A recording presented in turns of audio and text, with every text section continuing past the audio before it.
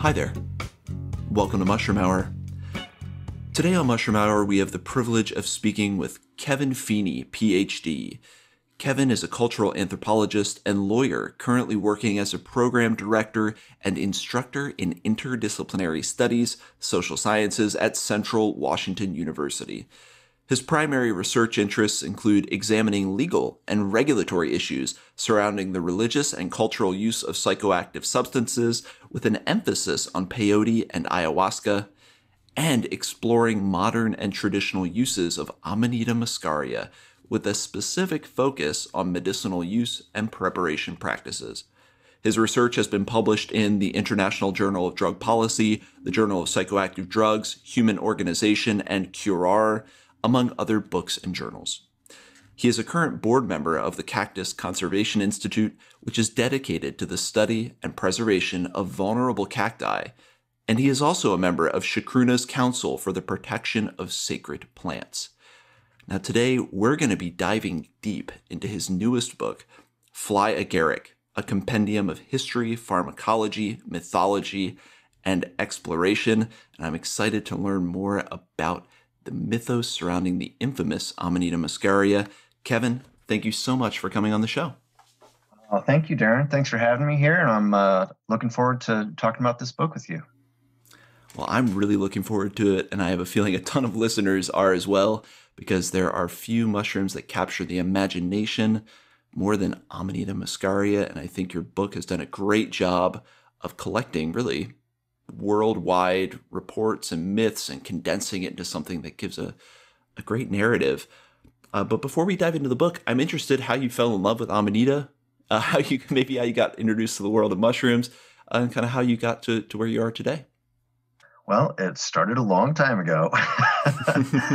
um, but, you know, as a teenager, someone curious about the world and different things that are going on, I probably had my first psychedelic experience around the age of 15 and experiences with psilocybin mushrooms shortly after that.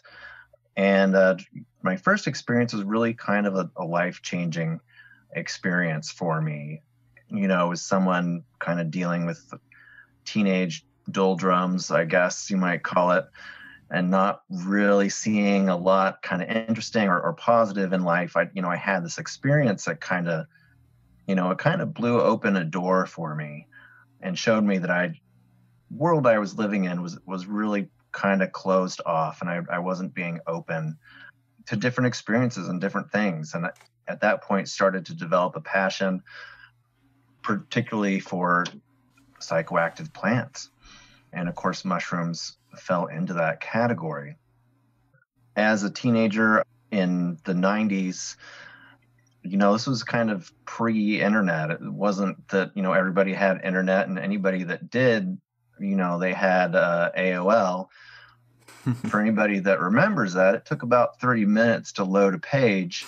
Right so it wasn't really a great source of, of information. So if I wanted to find out anything, uh, I had to find something on on my parents' bookshelf, or go to the library, or go down to our local bookstore. Uh, fortunately, I, I grew up outside Portland, and we had this wonderful bookstore called Powell's. Uh, anybody from the Portland area will know what I'm talking about. It's one of the biggest, greatest bookstores in the world but anyway, I my parents had been, you know, mushroomers at some point. Had gone out and picked and things like that, but we'd never done that growing up. Uh, but we had some field guides uh, laying around, and I I would peruse those, and the Amanita muscaria really jumped out at me, and you know, right away made those connections to to, you know, all these sort of fairy tale imagery and things like that and I also had the sense that if, if I was going to go out and try to find something, I was going to have better luck identifying an Amanita muscaria than I was to identify any of the psilocybe species, which are a little bit harder to distinguish from other mushrooms. Right. Well, that's interesting because for a lot of people, the Amanita Amanita, Amanita. Yeah, uh, you say potato, I say potato. It's you know, there's psilocybe or psilocybe, Amanita or Amanita. Just kind of depends who you're talking to. And usually I'll swap between different pronunciations as I'm speaking to try to cover all bases. But that's interesting because most of the time the Muscaria is relegated to kind of the poisonous column for most foragers or most people interested. I'm kind of surprised that early on for you, you recognize that as some kind of psychoactive because that, that's really not traditional. Right. Well, I was teenager in the 90s, but also grew up with, you know, Nancy Reagan's Just Say No. you know, and I had figured out pretty quickly that somebody calling something poisonous wasn't necessarily an accurate reflection of of reality. So as a teenager, it's something I just kind of took with a grain of salt, which is a little too bad because I I think a lot of people did that because there was really a failure to distinguish from all that drug propaganda. There was a failure to distinguish between you know different substances and you know, uh, at that time, Nancy Reagan and cohorts were, you know, made it sound like marijuana was just as bad as, you know, heroin or methamphetamine. And there's not a lot of nuance there. right, right. Well, I guess when then did you have your first Amanita experience, if you will?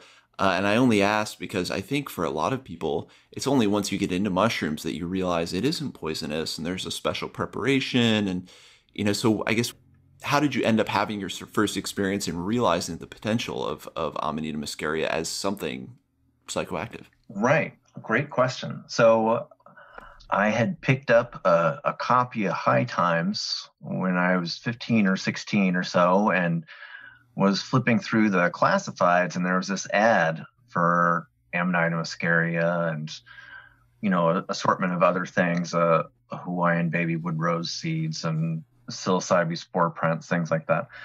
Right. And this was this company uh, called JLF Poisonous Non-Consumables. I had an opportunity to interview Mark Niemöller in the book, who ran JLF at that time. So I, you know, ordered his catalog and lots of different items in there, including the Amanita muscaria, uh, different varieties from North America, as well as the Amanita, the North American Amanita pantherina, or some people call it Ameripanthera.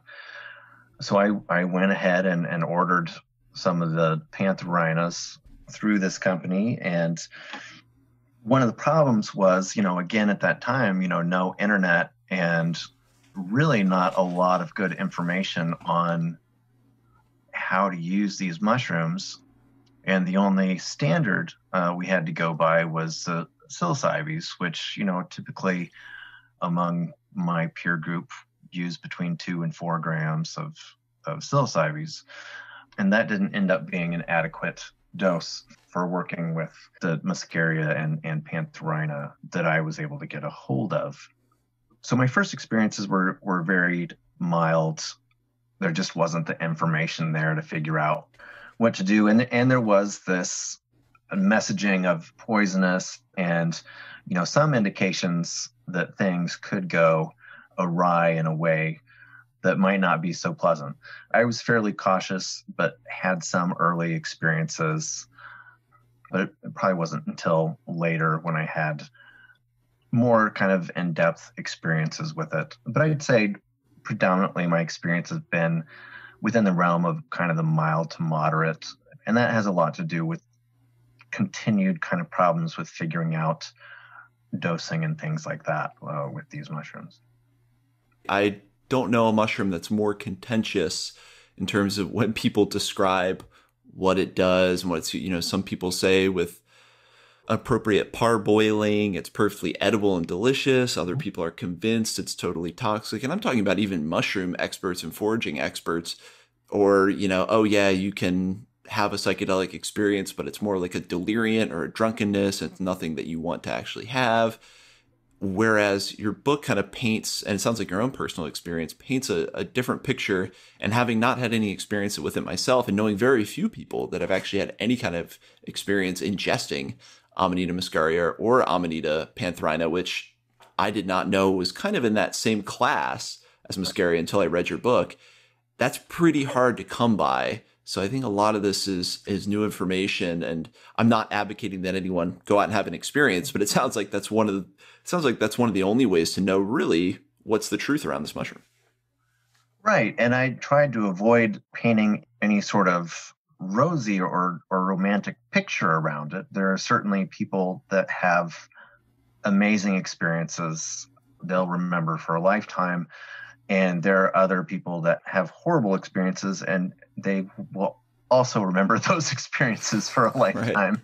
So, you know, and this is kind of where a lot of these strong feelings come from when people argue about this mushroom and, and how safe is it and how toxic is it. And it's a little troublesome that it's led to a lot of misinformation. It's kind of fed into this kind of misunderstanding of the mushroom and it kind of retains this enigmatic status which is fine. And but you know one of the points of the book was to kind of try to address some of the misconceptions that people have try to explore this mushroom in depth but also with a lot of breadth. So I, I wanted to cover a lot of areas and include lots of different kinds of stories about this mushroom and, and different types of studies and, and explorations of it to give people really kind of broad perspective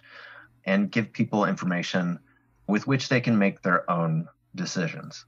You know, some people might be interested in the psychoactive properties, but it can be prepared as an edible.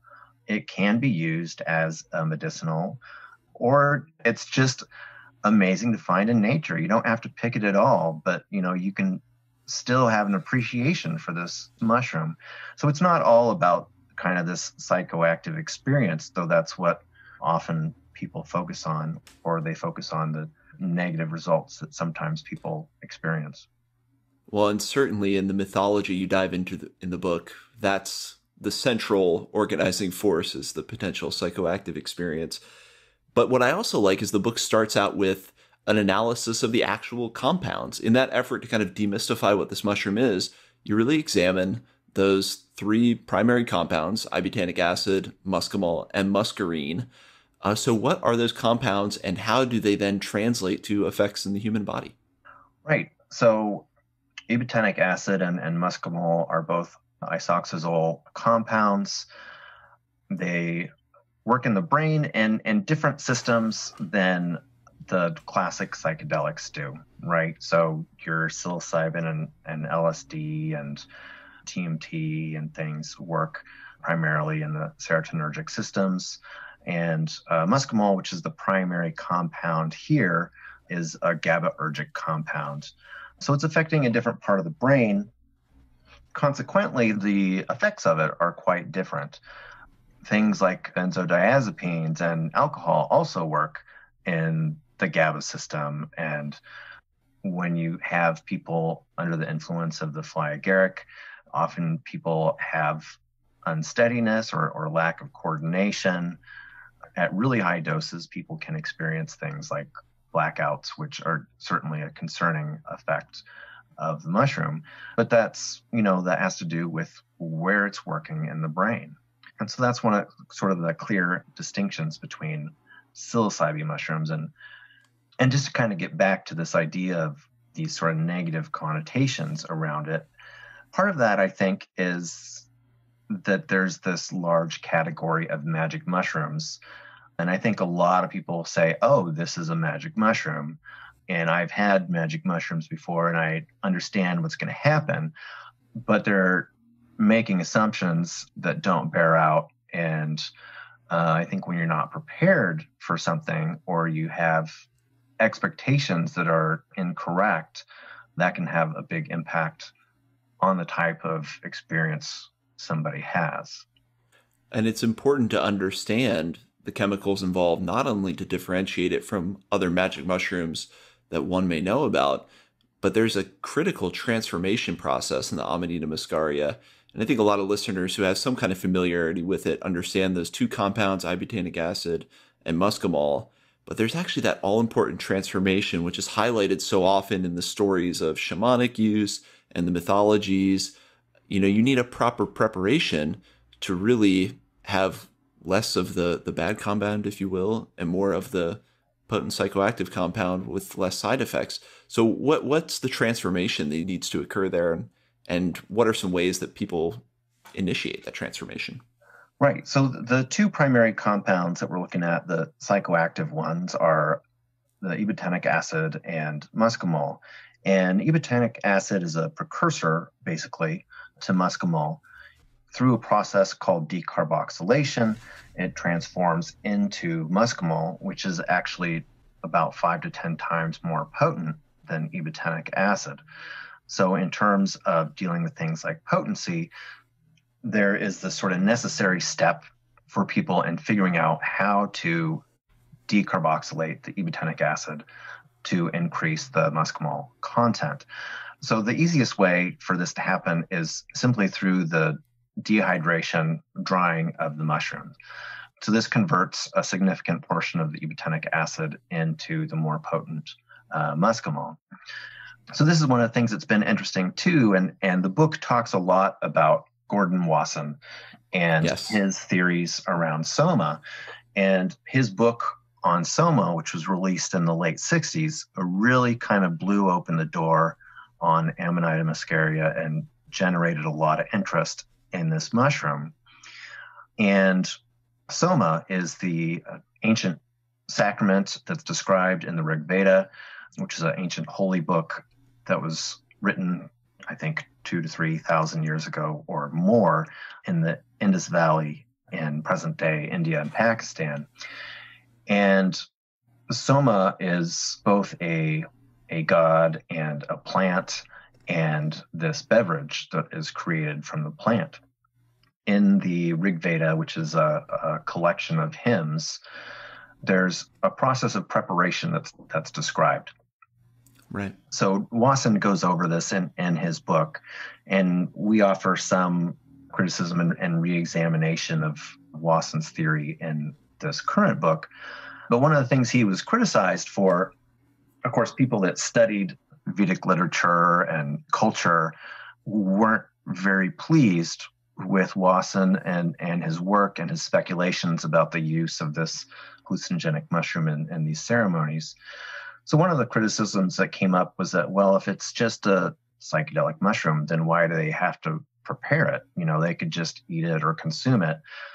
But of course, the the criticism fails because it, it lacks an understanding of the chemistry of the mushroom, which actually requires several steps of preparation.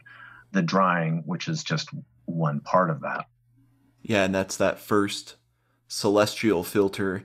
This book did introduce me to Wasson's Soma work, which I thought was a fantastic base because, you know, it's something I had heard about. Obviously, for any mycophile, they know Gordon Wasson for his work in Mexico with psilocybe, uh-huh. but it's really interesting to see how prolific he was because pretty much in every work in there that's subsequent to Wasson's work, it's referencing it somehow. So that's a really seminal work. So it's a great starting point.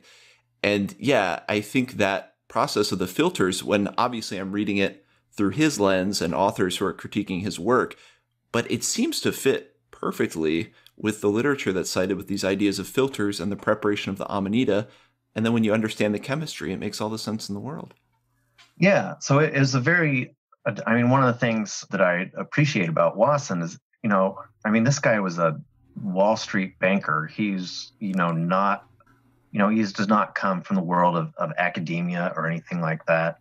And, right. uh, you know, I never had the chance to meet him. It, it sounds like he was quite the character.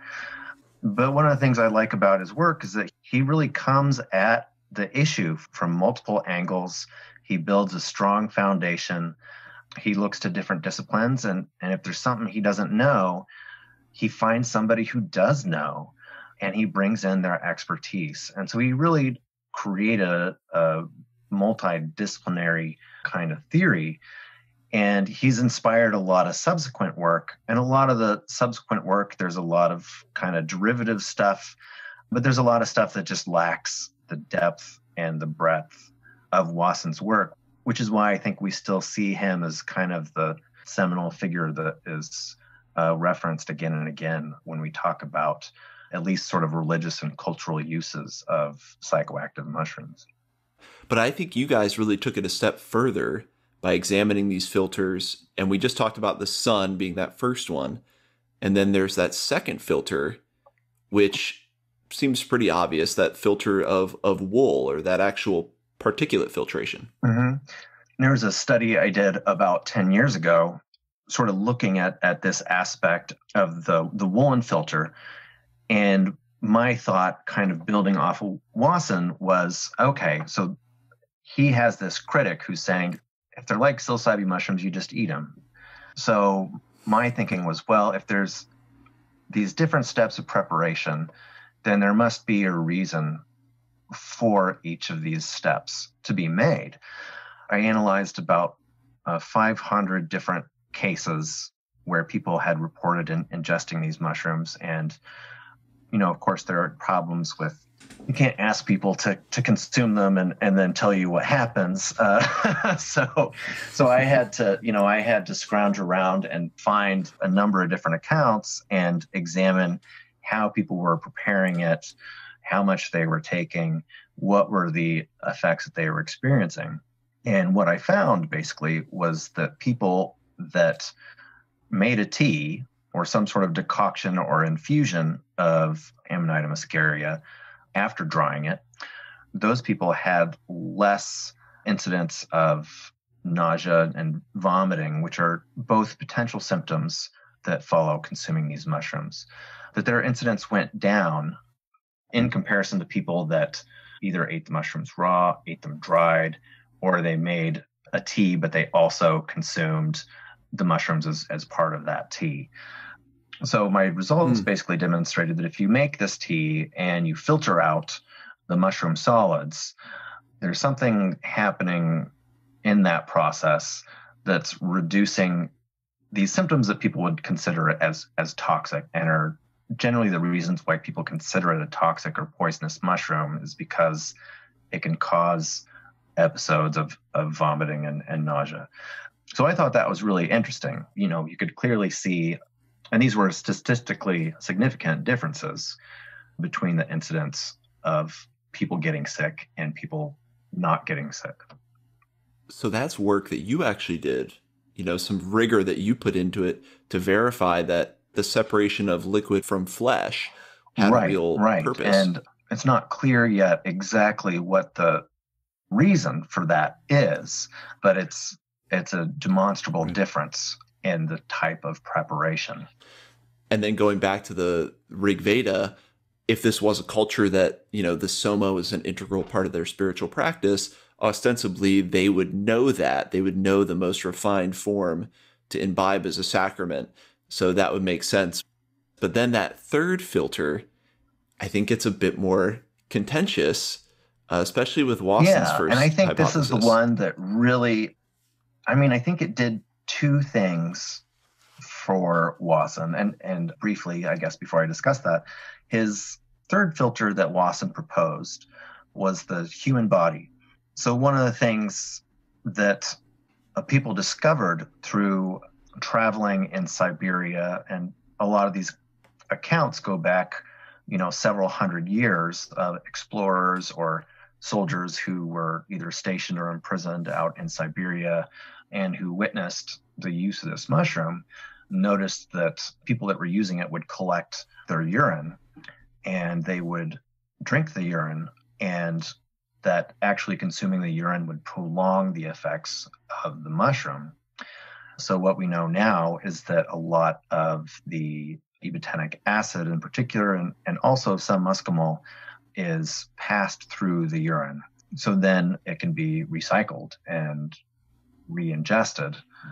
So Wasson proposed that the human body was the third filter, and that the purest form of soma uh, would be that which passed through the human body in the form of urine, and that that would be the preferred beverage then would have passed through those three filters.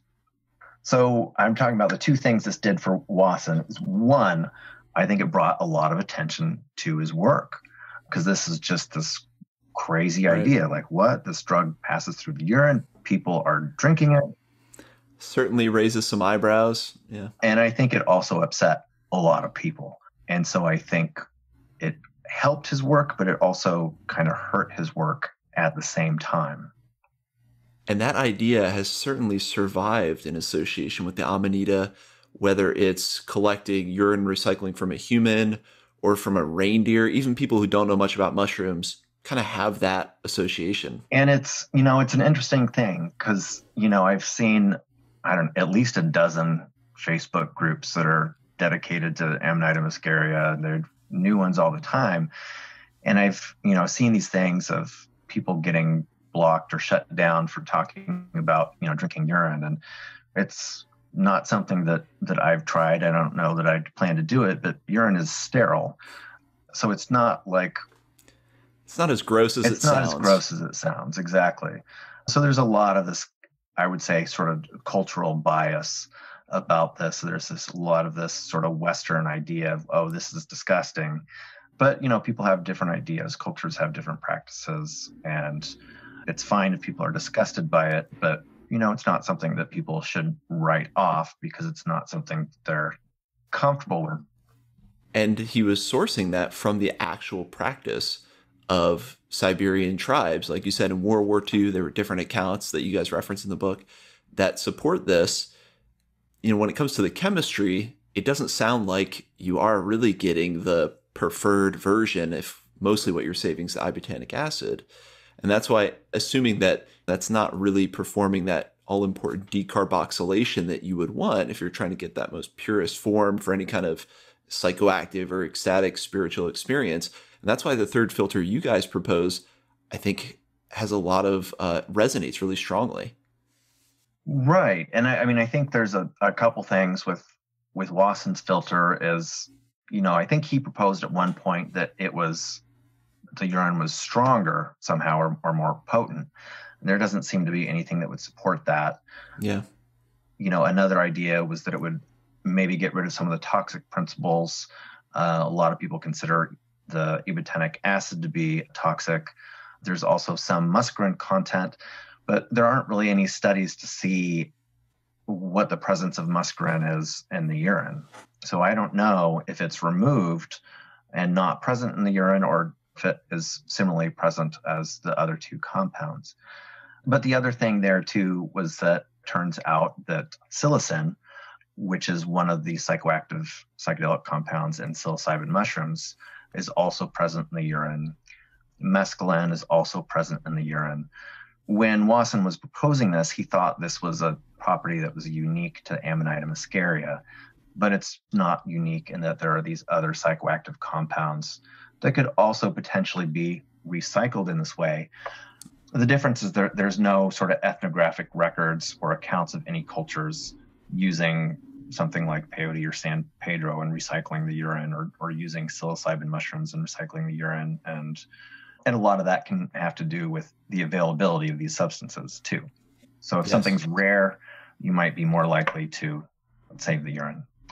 So moving on from that, our and this a, has a lot to do with the work of Trent Austin, who was my co-author on on this chapter, and looking at ways to further uh, decarboxylate ibotenic acid and muscimol in order to increase the potency of the final product or beverage. So one of the things that's found the decarboxylation of ibotenic acid to muscimol basically parallels processes that happen pharmacologically in the brain with different neurotransmitters.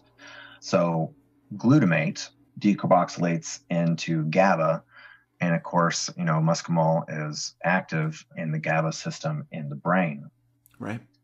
And there's a compound called glutamate decarboxylase, which basically catalyzes this decarboxylation process. So the idea was that if ibotenic acid is exposed to glutamate decarboxylase, would it have the same effect? Would it catalyze the decarboxylation of ibotenic acid to muscimol the same way that it catalyzes the decarboxylation of glutamate to GABA? So the interesting thing here is that glutamate decarboxylase is produced by various types of lactobacillus bacteria. And these are bacteria that are found in milk. Right. And of course, today we have all our milk is homogenized and treated, and all of that good bacteria, all the bacteria that makes uh, milk a healthy food is, is killed, is not there. but, you know, 3,000 years ago in the Indus Valley, when they're making this soma beverage, that's what they're using. They're using milk that has not been pasteurized and it has all this good bacteria in it. And I should back up for a minute because I didn't mention the fact that in the hymns in the Rig Veda, that soma is talked about being mixed with milk or milk curds constantly. It shows up again and again and again and the connections that Wasson was making to urine, there are a couple of passages that could, with a lot of strain, could be interpreted in a way to support his contention.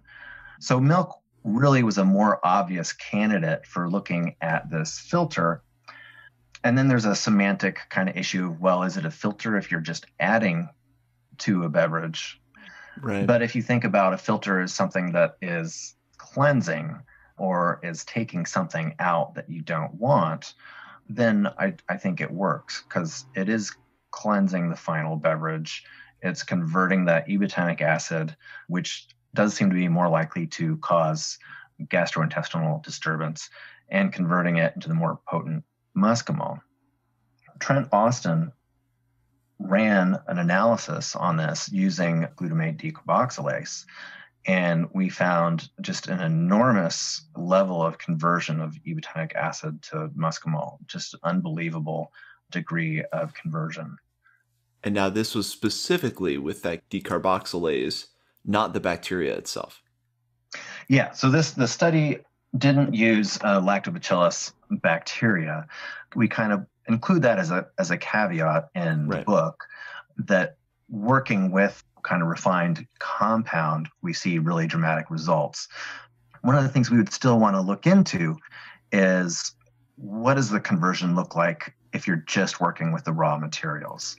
That would give you a much better idea of if this is a correct identification of soma, it would give you a much better idea of what the final beverage looked like and how it worked for people back then.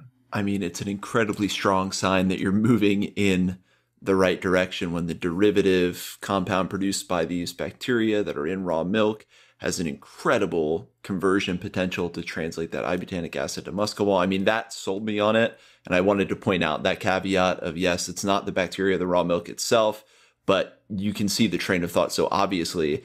And like you said, the third filter that Wasson proposes kind of relies on some passages that talk basically about the shaman being a personification of Indra and you have to read it that way to really see it as kind of using the body to recycle. So I didn't resonate as strongly with that. And then what you guys put forward with the actual data, I thought that was a really powerful argument. And I thought that added a lot of clarity to that issue. I mean, it was kind of amazing. Just got a call from Trent out of the blue one day. And, you know, he said, you know, I, I read this paper that you wrote on Soma a few years back. This was the one looking at the woolen filter. And he said, I've, I've been looking into this and I've got this idea and research I want to share with you. And so we started talking, and this is one of the things that we came up with. So I was pretty excited uh, to be able to include this in the book, and, and I hope some other people will follow up on this research and, and we'll see where this takes us really groundbreaking stuff. And then it leads us beautifully when you start talking about the Rig Veda. That's one of the mythologies.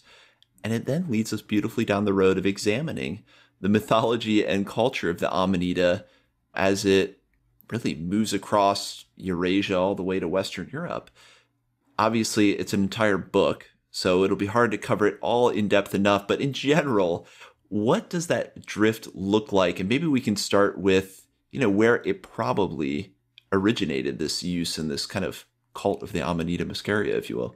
Right, right. There are lots of kind of interesting theories and thoughts about this. And the idea generally is that the, the Indo Aryans, and part of Wasson's theory was that these are people that migrated into the Indus Valley.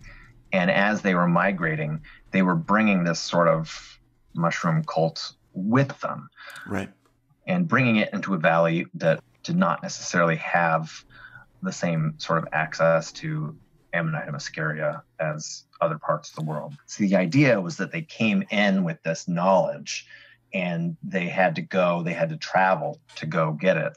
But the people that populated the Indus Valley are considered Indo European peoples, and the, the Indo Europeans uh, are believed to have their origins somewhere around the Caucasus Mountains, which are kind of located between the Black Sea and Caspian Sea, or between Ukraine, Kazakhstan, in, in that area, kind of Central Euro Asia area.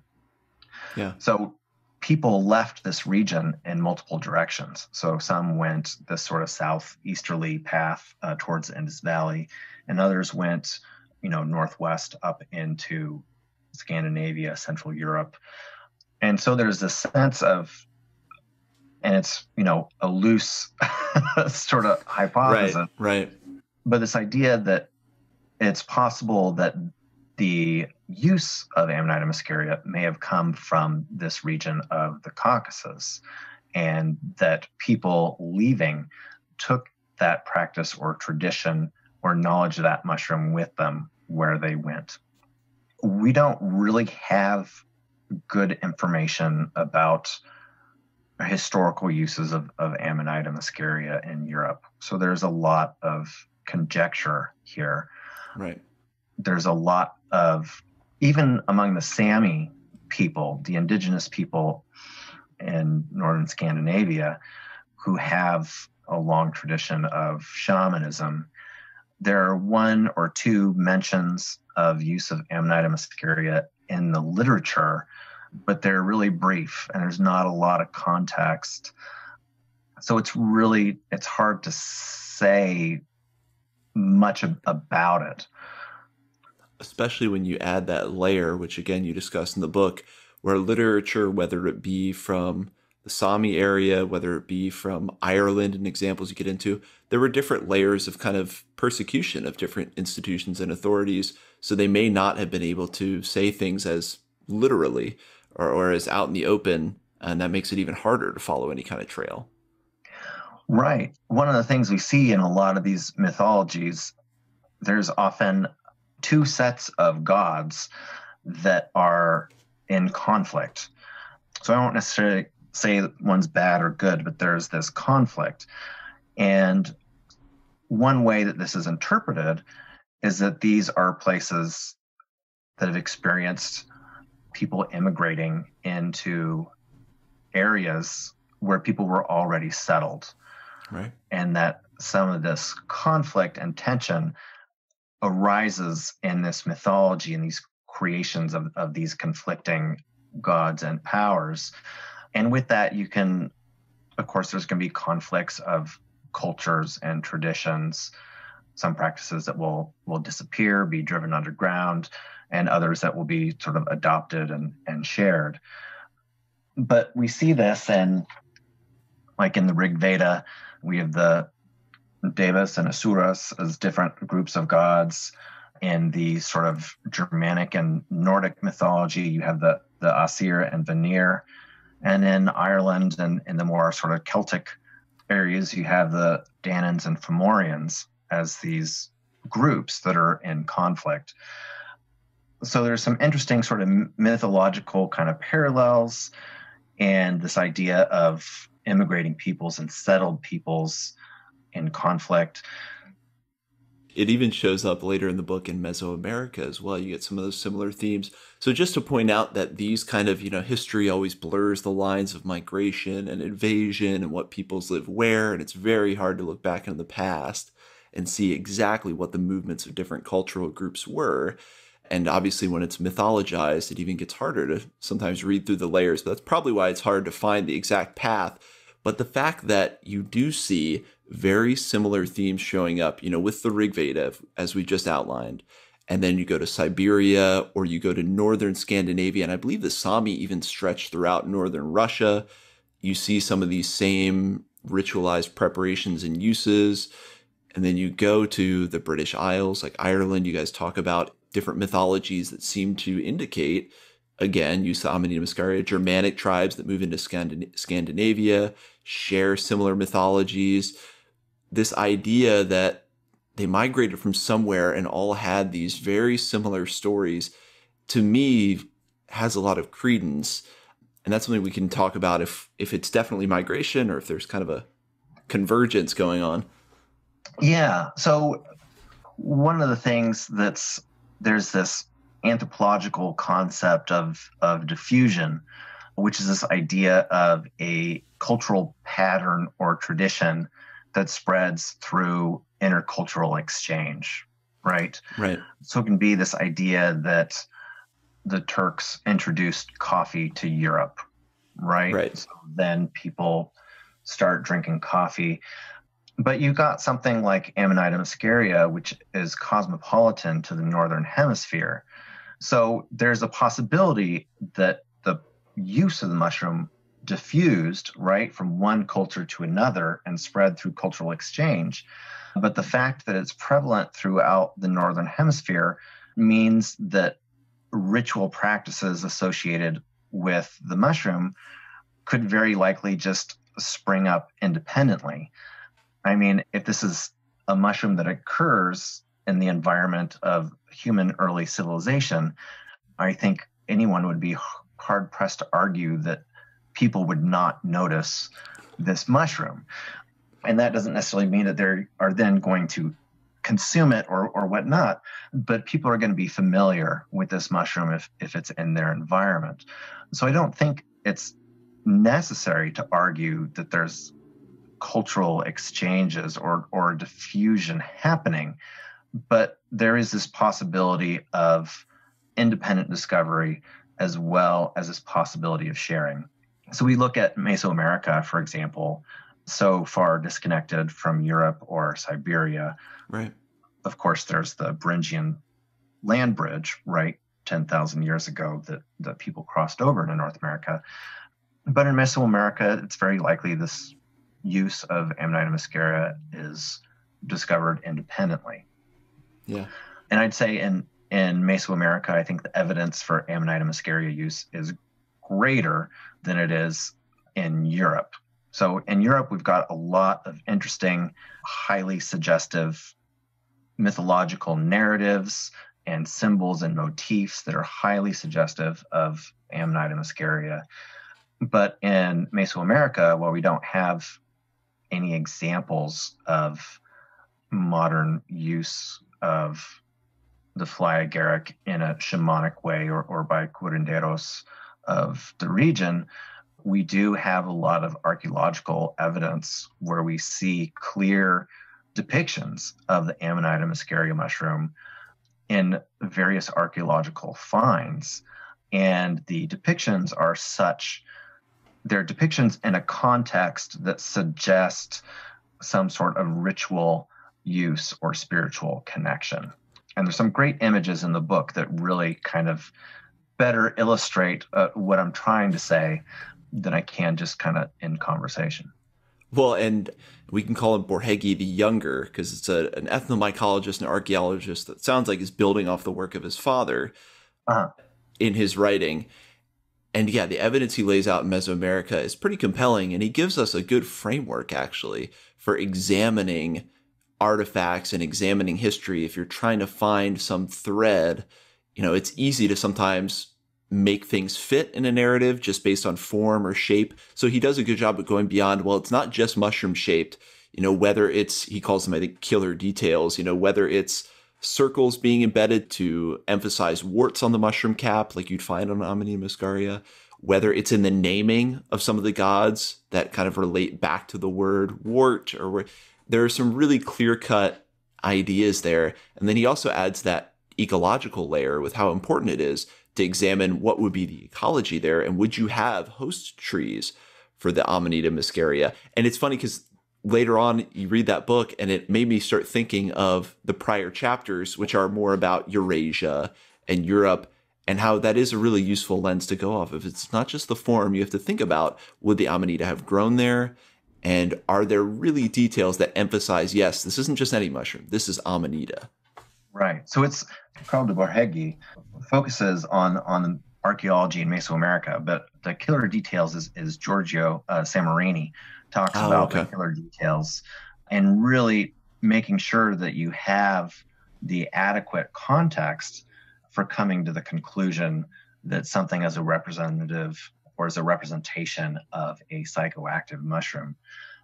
I really like, uh, well, I like both chapters, but I really like Samorini's work because, like I said earlier, a lot of the stuff that came, a lot of the research and writings that came in the wake of Wasson really were kind of like, oh, like this uses red and white in this color pattern. Like these people are using Amanita muscaria, or like this thing is kind of roundish looking and you know it looks like a mushroom.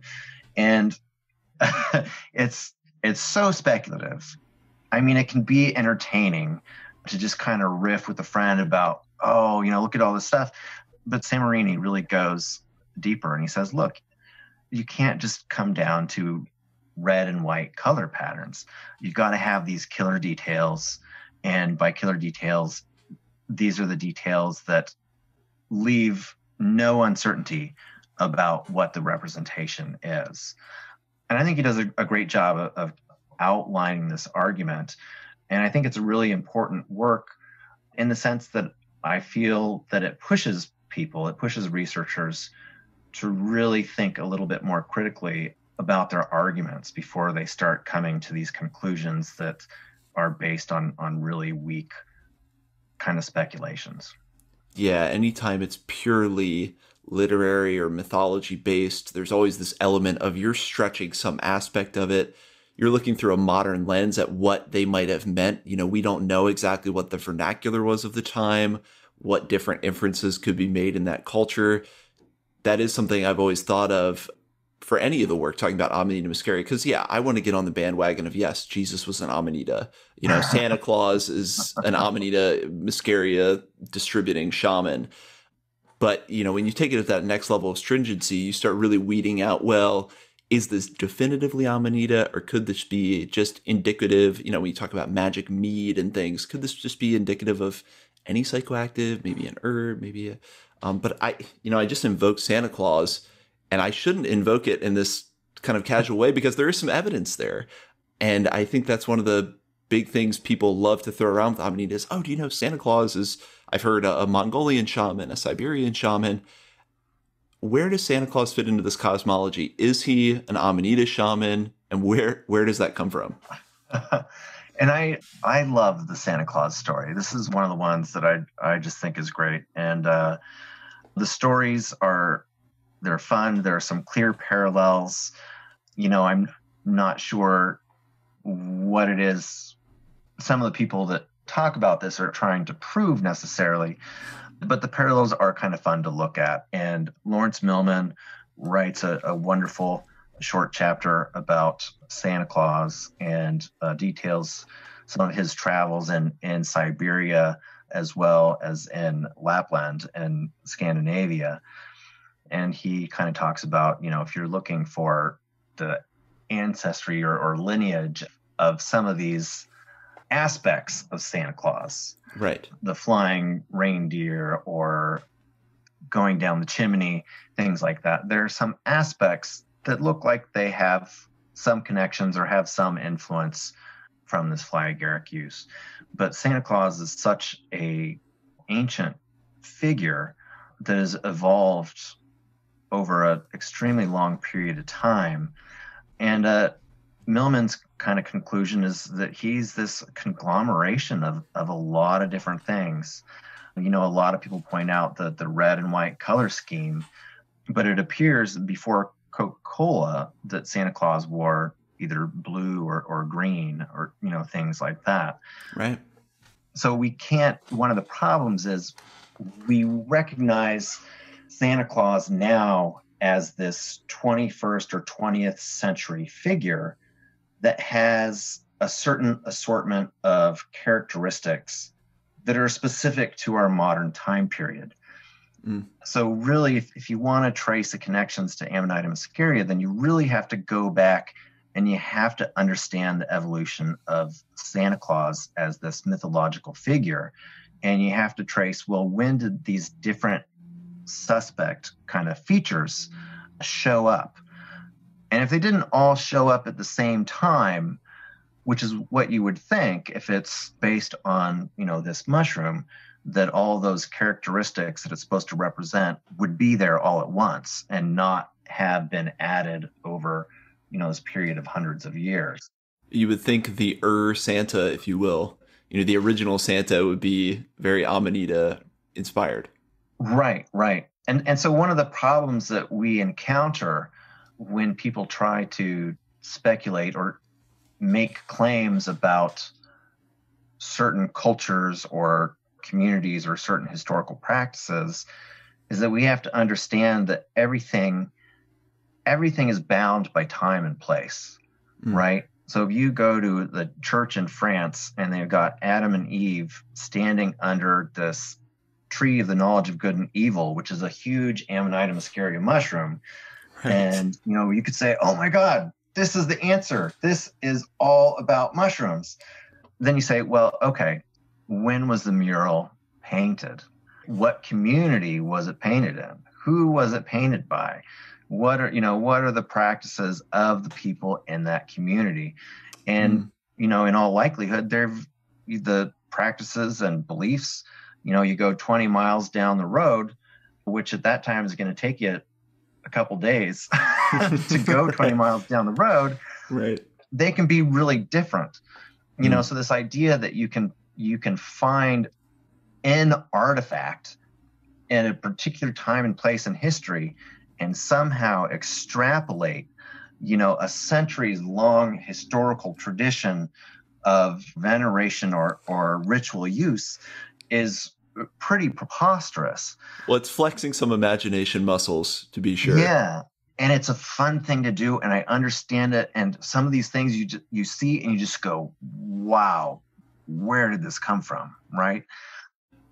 But if there's no other puzzle pieces then it's just that it's just that one thing and it's you know maybe they just had some like trippy painter guy who was like i'm going to make this mad mural of this you know this stuff you know we just don't know without more context just thinking about how culture shifts you know important symbols in today's i mean our meme culture is so far accelerated, but to think how symbols and ideas and motifs shift so quickly in our culture gives you some kind of a pause to think, yeah, this maybe this is just a trippy painter guy. Maybe that was in vogue for a few years and people moved past it.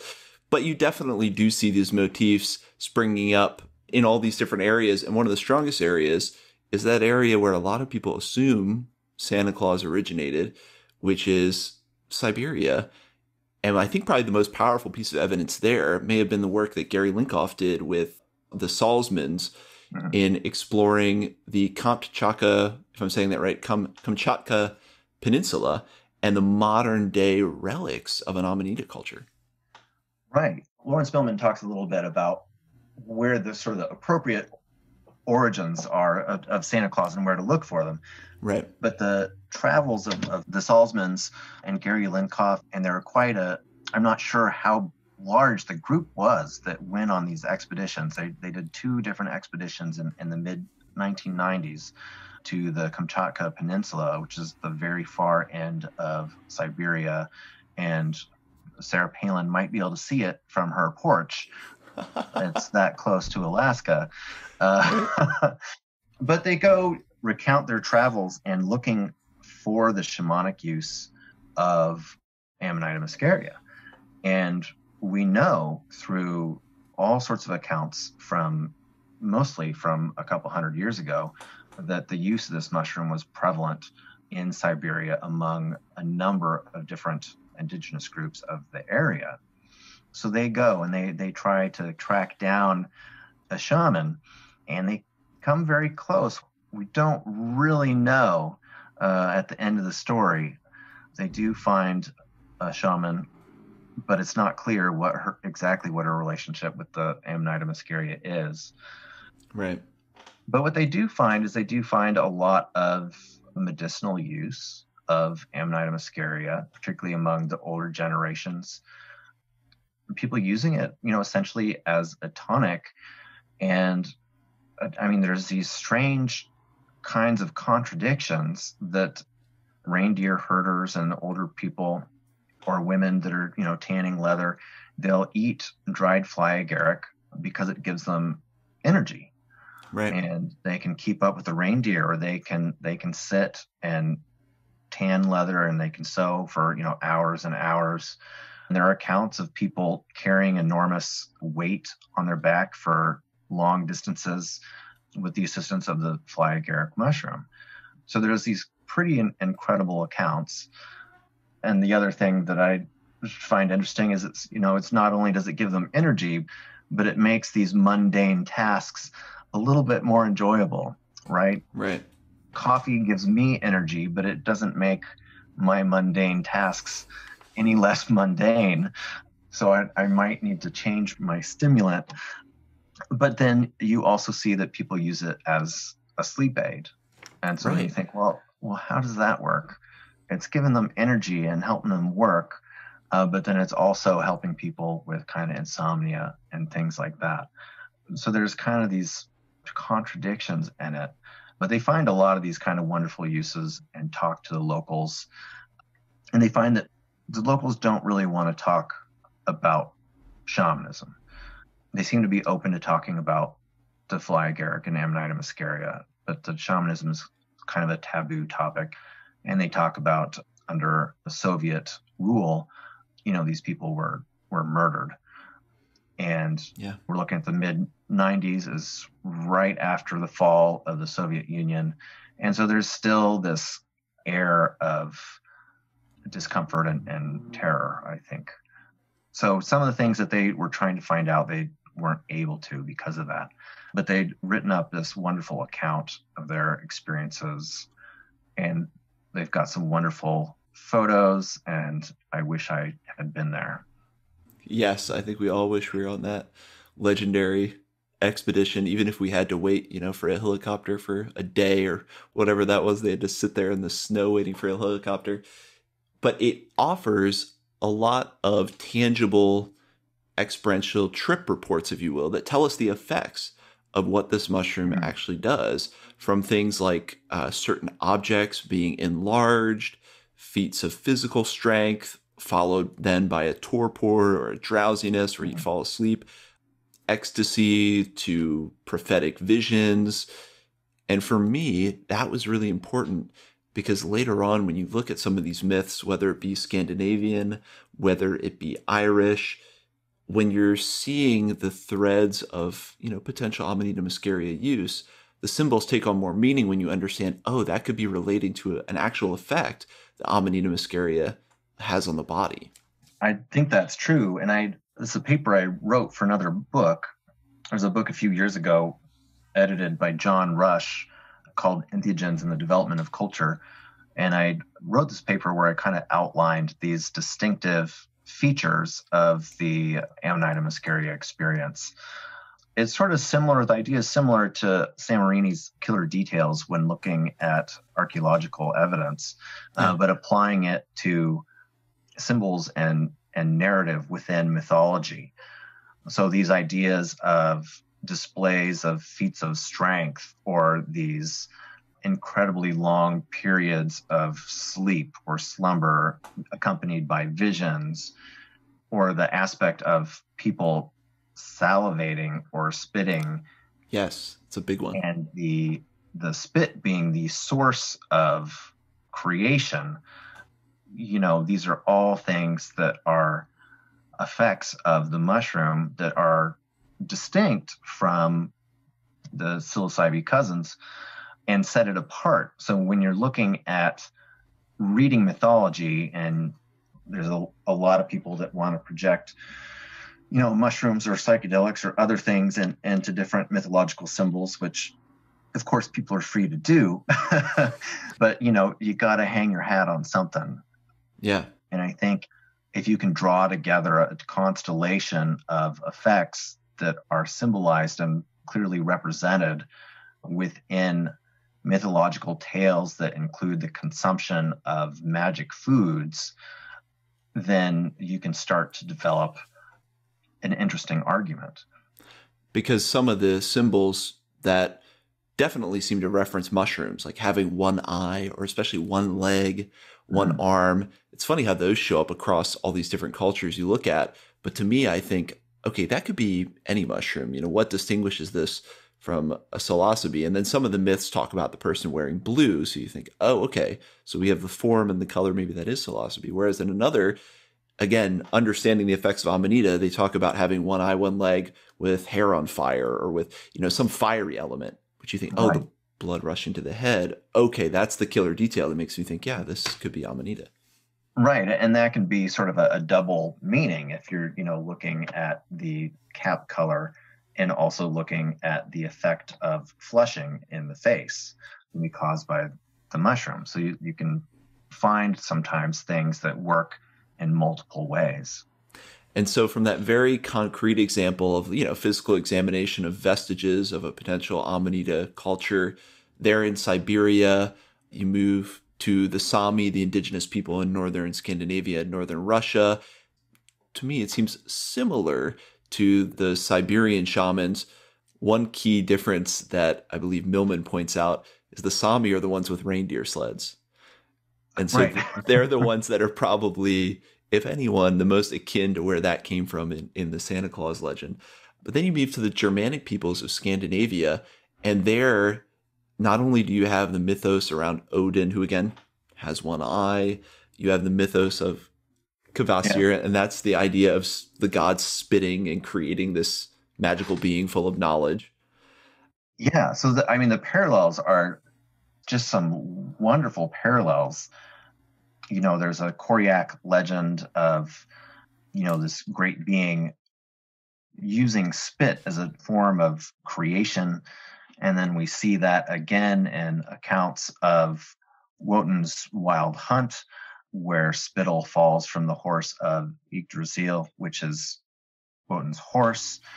And then you see these stories of the creation of the mead of inspiration, which includes kind of the mixing of, of spit and blood. So there's this interesting creation element that involves saliva. You know, there can be different explanations for that. But when you have a, a magical food, like the mead of inspiration, you know, these are things that suggest something with psychoactive property. I mean, when these things are connected with encounters with little people, fairies, or dwarves, there's a clear indications that require us to look into the possibility that these are psychoactive foods.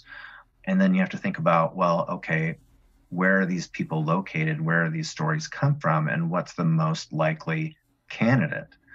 And then you can start looking at these symbols. Well, spit is really important, right? And it comes up multiple times in the stories about the meat of inspiration, right? So Odin or Wotan sneaks into the mountain to steal the meat of inspiration from a giant and he swallows three vats of this stuff and then turns himself into an eagle and flies away.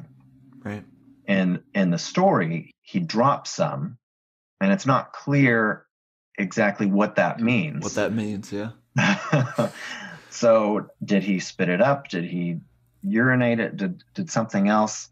You know, urine, we can go back to Wasson's theory about his third filter. We know that the urine is is potent. There's some tradition there, yeah. Right. Or if it's spit, we've got that muscarinic connection, salivation being caused by muscarine.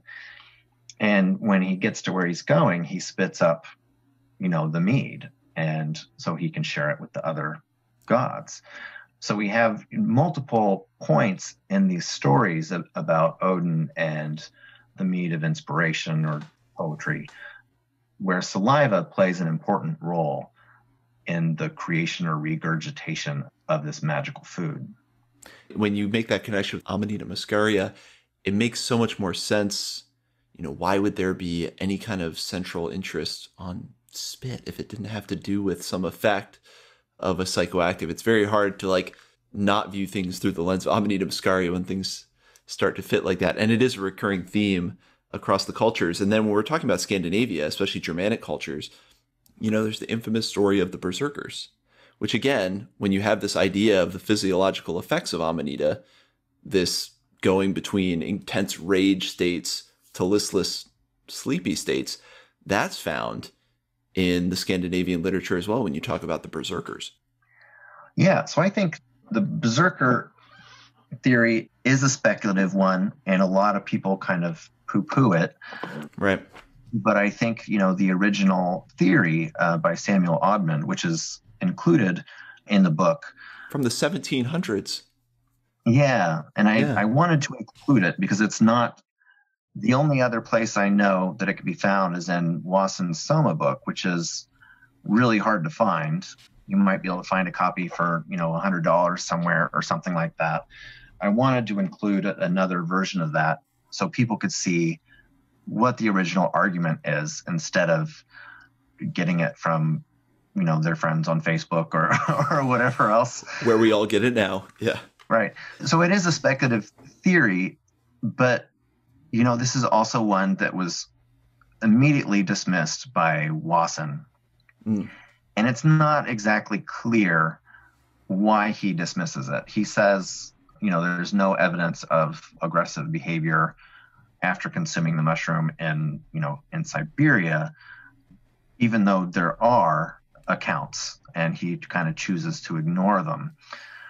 So I suspect when Wasson was was first writing about this, we were leading up to, you know, the war on drugs started under Richard Nixon and a period where people, you know, even going back to the 30s with Harry Anslinger, who was the guy who was really pivotal in demonizing marijuana. He found these stories about the the hashishans who were supposedly assassins that smoke a bunch of hashish and then go kill people.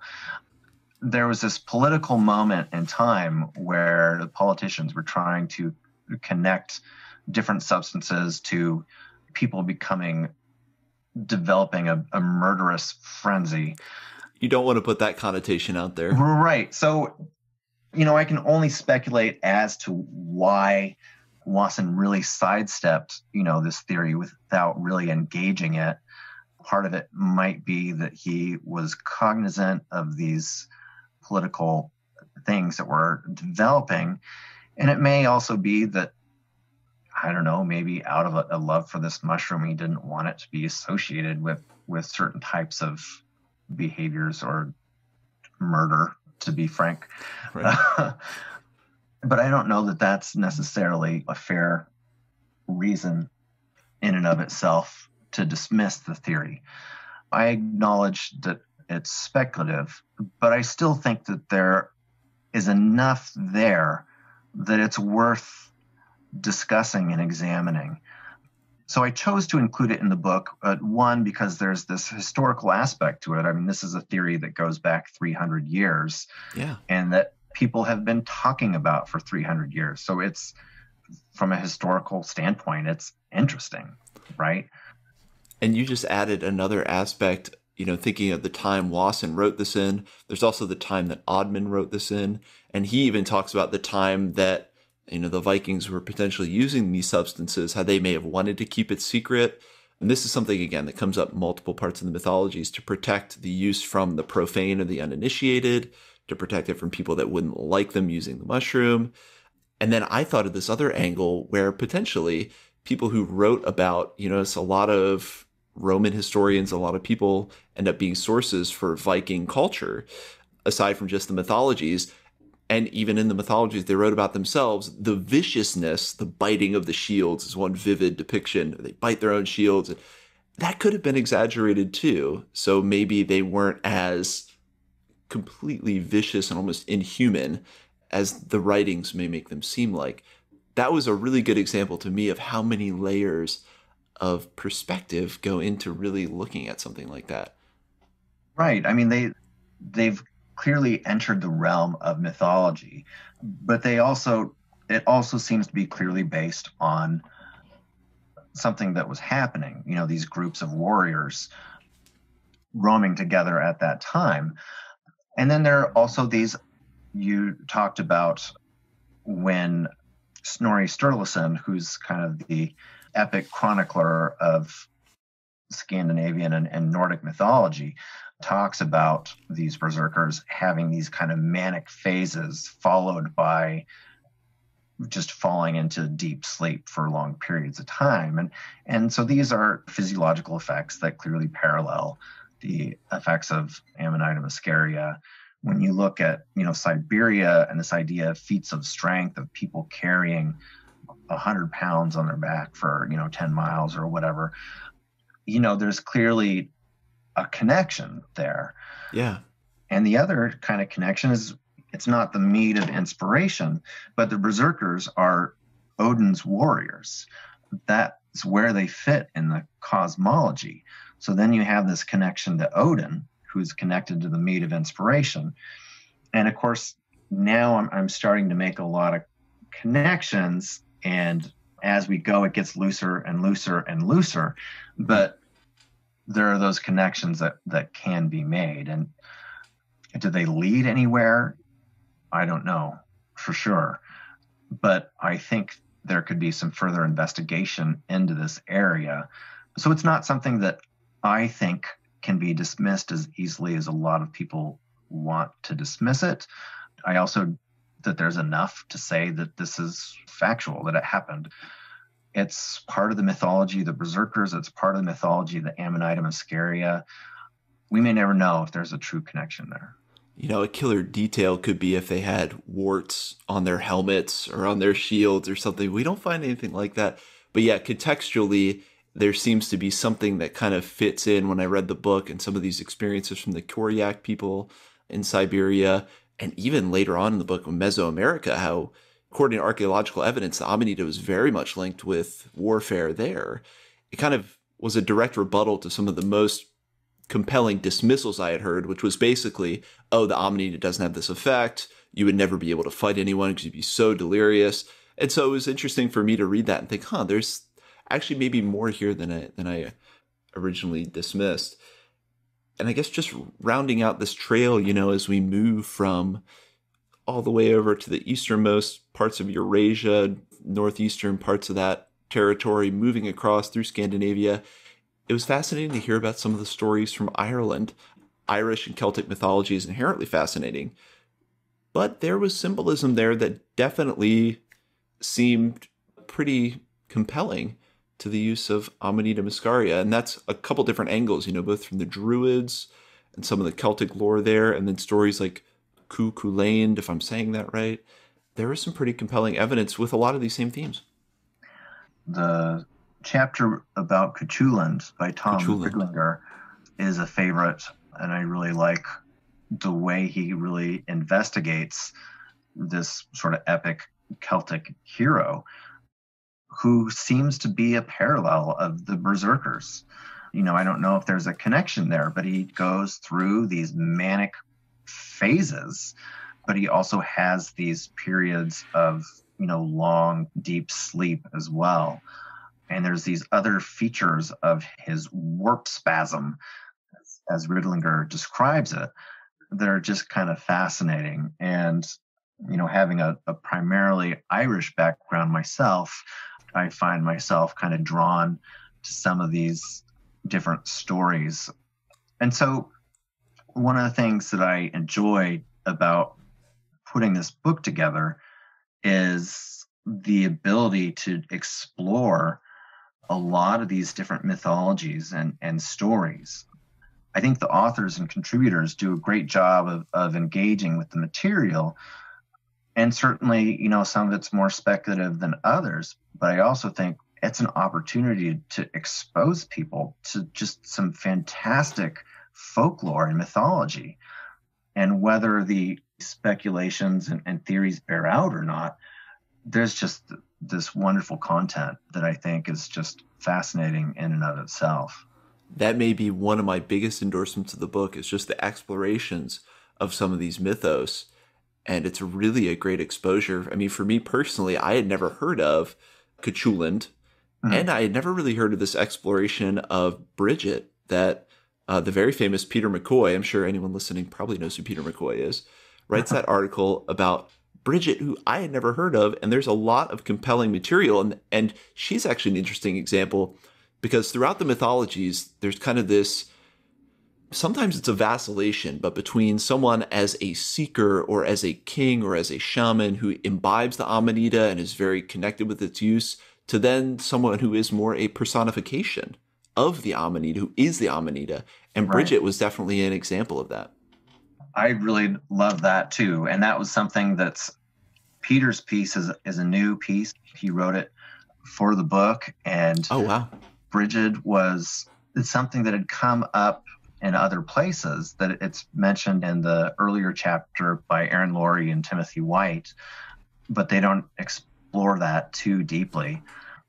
And so I, I really enjoyed reading Peter's piece and learning a lot about Bridget as as saint and goddess, and about her position within Irish culture and, and mythos. And as we were working on this, I, he was you know submitting drafts and I'm giving him feedback.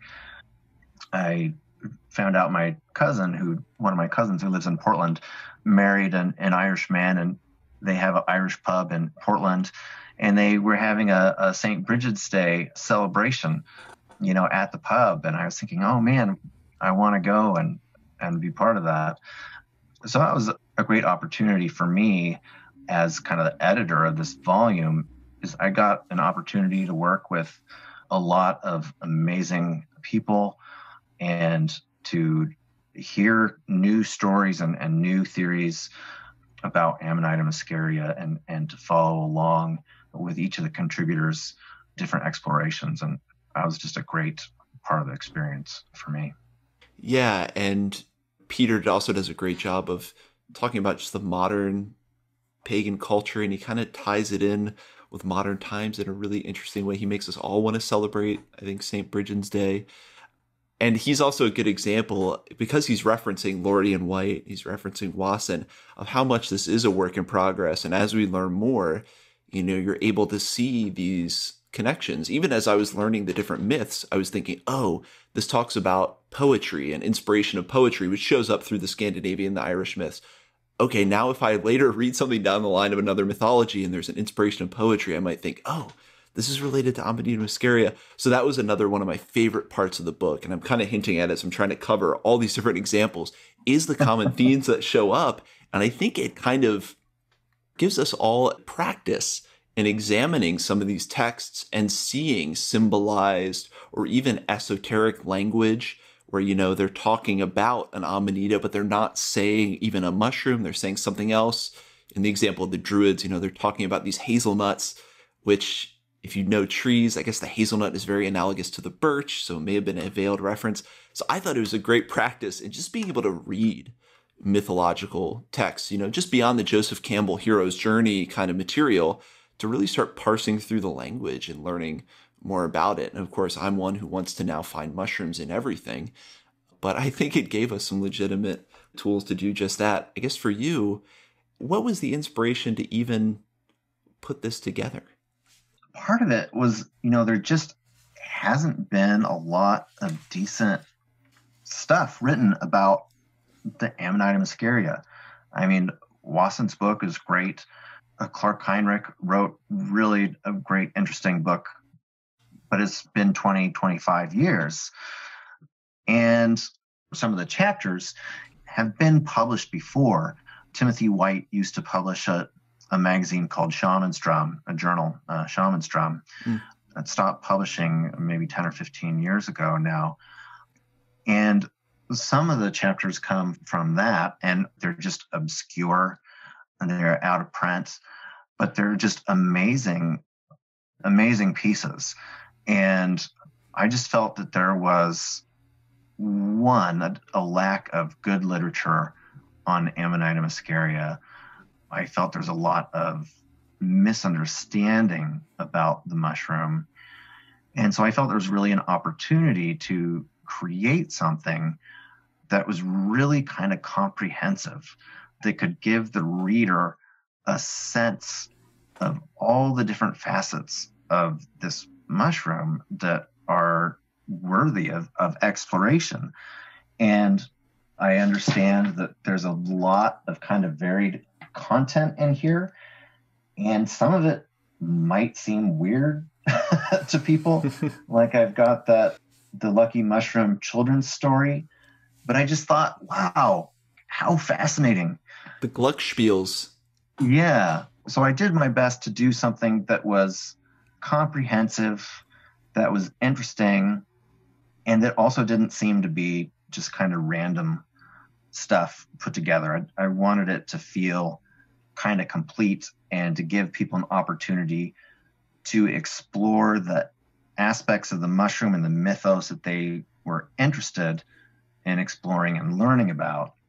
And I guess my ultimate hope is that this is something that can potentially inspire maybe future research and give people kind of a foundation in the fly agaric and an understanding of, of where future explorations or studies might go.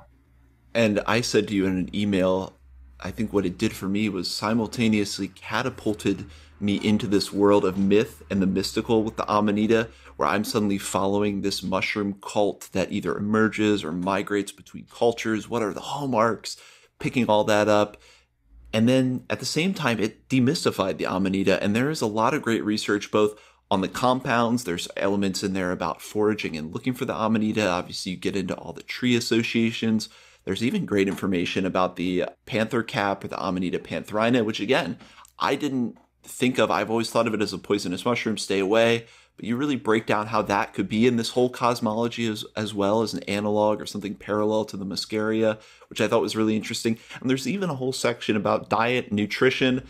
So it's really hard to put, you know, one single label on this book. And as is clear with kind of my winding questions, trying to cover it all is a task because it is such a wide breadth and really I think offers this incredibly balanced perspective and also keeps it interesting. It's not just rote science, although that is in there, but there are fairy tales in there as well. And there is rigorous examination of myth. Yeah, I, I gotta say, it was just a joy to read. Can't say enough how much I enjoyed the work about such an important mushroom. I appreciate it. And just briefly, you know, one of my other goals was, you know, I wanted something to produce something that would be you know, it'd be it would have the element of being scientific and, and having that rigor, but something that also be readable and accessible.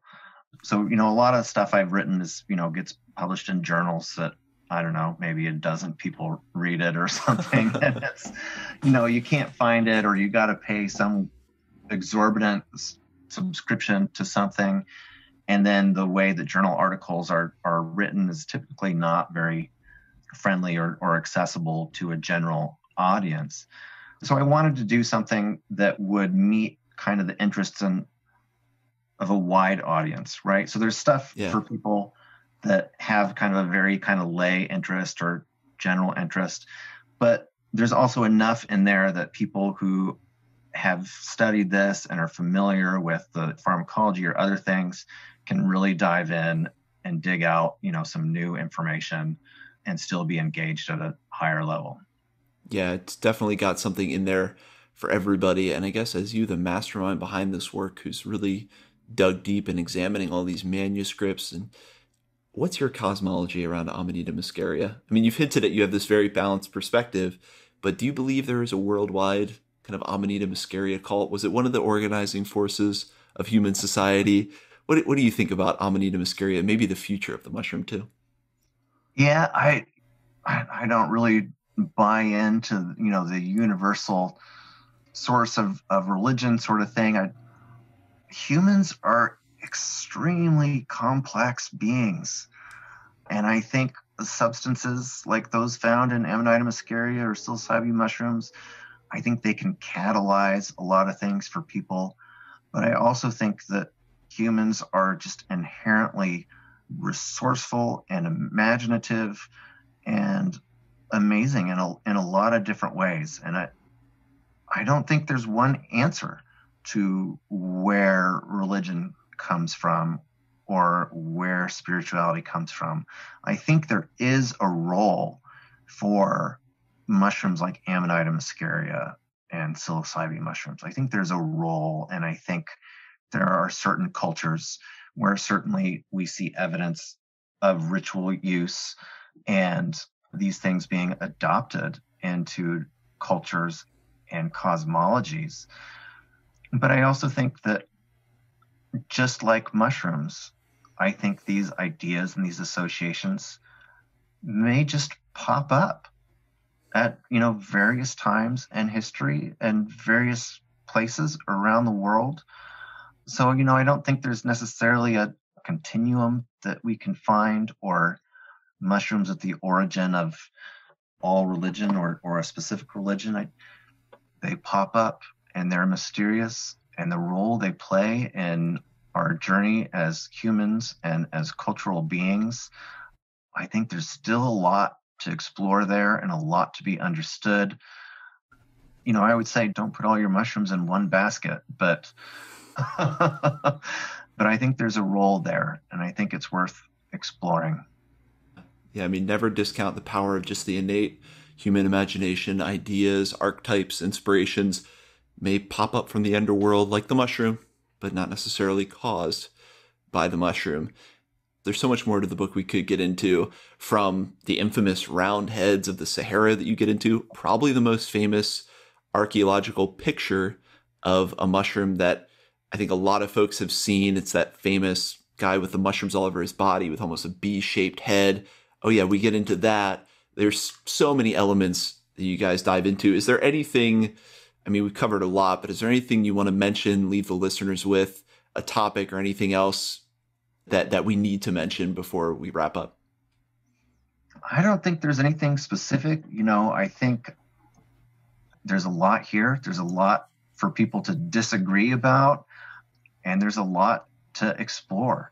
I hope people will enjoy it have fun with it and see what different directions they can go with some of these mythologies.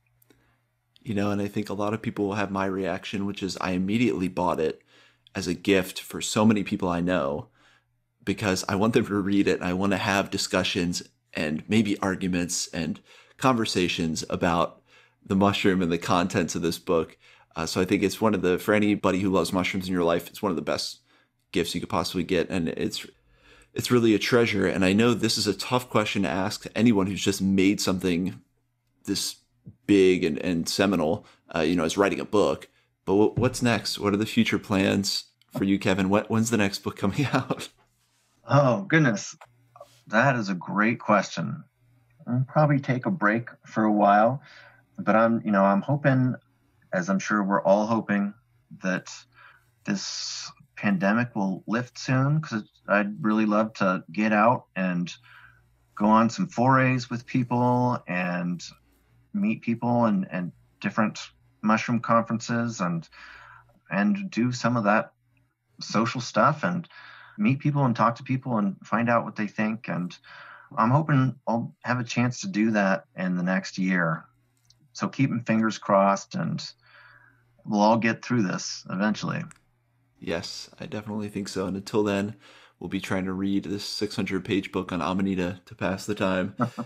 I guess where could people get the book? And then where could people find out more about you uh, and your work? Maybe contact you if they're particularly inspired or feel like they could contribute to research or anything like that. So the book is it's available online, so it's not something that you're going to find at your local bookstore. Though I, I don't know how open local bookstores are uh, right. at this point you know, I, I hate to say Amazon, but but it's on right. Amazon, it's on Barnes and Noble, and and probably other online booksellers as well. For myself, at this moment, I don't have my own web page, but for people who are interested in kind of research and academic papers and things like that, there is a website called ResearchGate, and it's a, a website where a lot of people who research all sorts of different things have web pages I have a page up there. You can find my research on Amanita muscaria. I also have other research on legal issues regarding religious use of, of ayahuasca and on conservation issues uh, surrounding peyote and, and other things like that. So people have a general interest in, in psychoactive plants. I've got work that I've done, and that can be found on on ResearchGate. Uh, so that's probably my primary online presence at the moment. I'm also talking with Peter McCoy about potentially getting the book up on his website, which is Radical Mycology. I think it's radicalmycology.org. He's got a great organization. Uh, Peter's got a great book. So I've got to talk with him, and, and maybe that'll be up there as well. His book, Radical Mycology, I think is the only mushroom book I have that's as thick as the Fly Agaric Compendium is. So definitely somehow appropriate that it's all associated. And obviously, he contributed to the book. And I love that you guys are connected there because I think he is one of the leading voices in really mycology in general, but citizen mycology and the greater mycophile culture. So that's really exciting that you guys are going to be working together. And rounding into the three big questions I like to ask all my guests, you know, the first question, I think we could have a very clear cut answer, and I'm going to challenge you not to pick Amanita muscaria. But what is what is a mushroom that you love and why that you want to share with us? That's a hard question. For any forager or someone who studies mushrooms, it's nigh impossible to pick between the millions of organisms out there. I guess I would say, and I'm, I'm going to give you the wrong name for it because the name has changed. You know, it's kind of the the bane of mycology is The names of mushrooms are constantly changing, and I get stuck with the names that I learned. It was called Lepiota rhacodes, which is the shaggy parasol. It's just a delicious, delicious mushroom. Uh, and it's fun to find and it's great in soups. It's one of my favorites. I haven't found it for a while, but uh, hopefully sometime in, in the near future, that's a great one. And then other ones I I really like the purple is one of my favorite colors. So whenever I find deep, velvety Cortinarius, they're just gorgeous. Yeah, that's got to be one of the most stunning mushrooms. Uh, one of my favorites too. I always take pictures of the gills. God, how many gill pictures do I have of that Cortinarius? Yeah, fantastic choices. Yeah. And then a more general question. You know, what has this relationship with fungi that you've developed given to you or brought to your life? Maybe that's some kind of like spiritual connection or perspective or but what has that relationship with mushrooms and fungi given to you? That's a good question. Well it certainly inspired the work on this book and as certainly i think i mentioned before you know as a teenager being just kind of disinterested and, and dissociated and you know mushrooms is one of the things that really made me curious again. It, it made me curious about the world. You know, I was never a, a bad student in school, but suddenly there were things that I wanted to know, right? And that way, it really kind of helped push me along and develop interests and help develop a deeper kind of engagement kind of with the world around me. And now it's just if I can get out in the woods by myself where I can have some kind of peace and quiet and find whatever it is that I find on the forest floor. It's great to have that solitude. And, and I also love to take my kids out and get them in the woods and, and get them interested in, in what's going on around there. So I think there's a lot of different ways that it's kind of impacted me and, and helped shape some of my own trajectory through through this human experience and I think inspiring curiosity and wonder in a world that seems all too mundane is definitely a very powerful effect and I think a lot of us felt felt that when you said that. I think it's done a lot of that for people who are otherwise a little disaffected. It's kind of create a, a new spark of inspiration if you will. And then what is the lasting impact that you hope to make with your work? And that could either be just surrounding the book that we talked about, but I know your work is really varied and touches a lot of different angles of psychoactive plants, but also anthropology. You know, what's the lasting impact that you hope to make with that body of work? That's a really big question. so I'll, yeah. I'll, I'll, see if I can come up with a, a podcast part two. Yeah. One, I you know, I I just think the flag is a great mushroom. It's fascinating. I feel a little sad that it has such a poor reputation that I don't think is deserved. And so I hope to, you know, in, inspire some interest and to create a new foundation of knowledge. You know, I, I see a lot of people online arguing about the same old kind of misinformation or, you know, things like that. So, you know, hopefully help elevate some of the discussion, help the discussion evolve maybe a little bit further. Yes. But I also think the psychoactive and, and psychedelic plants are very interesting. I think they can play potentially an important role in people's lives. And with the caveat that these are not substances that one can just play with without a lot of thought and preparation. But I, I do think there's something there that's important.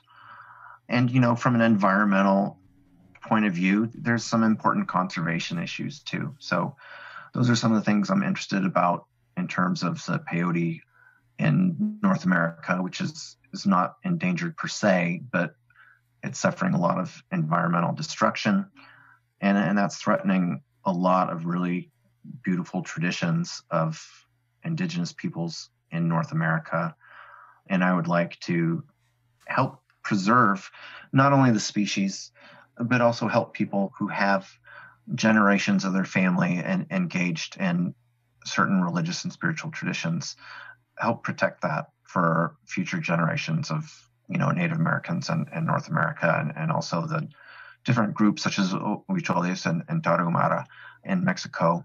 And we're seeing a lot of problems, similar problems with ayahuasca in South America with the destruction of rainforest and also just the hyper commodification of ayahuasca, which, has can have some really negative results on the people with traditional use.